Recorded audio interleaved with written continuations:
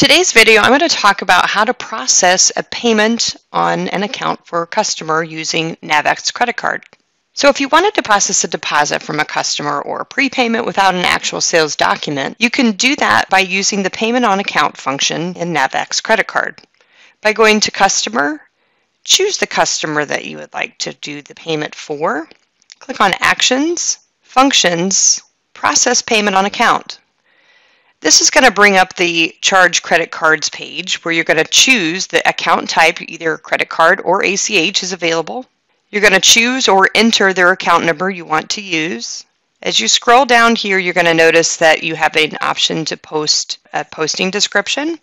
And if they give you an external document number they want you to reference for this payment, you can enter that there. You're going to enter in the amount to charge. If you wanted to have more than one account, you could click on Add and then do this again for a second credit card. In the meantime, we're just going to say OK.